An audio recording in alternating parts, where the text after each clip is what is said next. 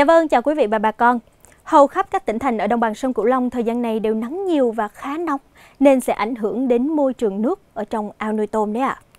Ghi nhận thực tế tại tỉnh Bến Tre, các bệnh hiện đang phổ biến đó là bệnh à, đốm trắng chiếm khoảng 87% diện tích thiệt hại.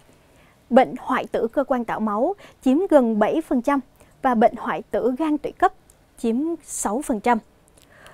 Trước tình hình dịch bệnh trên tôm diễn biến phức tạp, ngành nông nghiệp tỉnh Bến Tre khuyến cáo hộ nuôi tôm nên tạm ngưng xuống giống và tập trung cải tạo ao nuôi, đồng thời chờ đến thông tin khung lịch thời vụ. Các ao đang nuôi tôm thì nên chỉ thay nước khi mà cần thiết. Nguồn nước thì phải được xử lý khi mà cấp cho ao nuôi.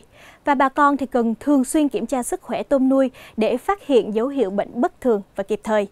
Chủ động giảm lượng thức ăn trộn thuốc hỗ trợ trị bệnh vào thức ăn theo hướng dẫn của nhà sản xuất và tăng cường mở quạt nước, si phong đáy ao nuôi để ờ, có thể loại bỏ cặn bã hữu cơ và thức ăn thừa ở trong ao.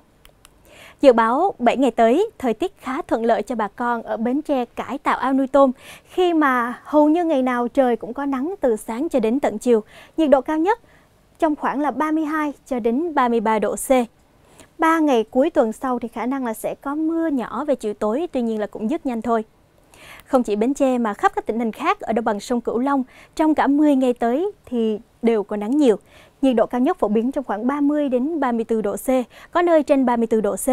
Về tối và đêm, trời mát, nhiệt độ 23 cho đến 26 độ C.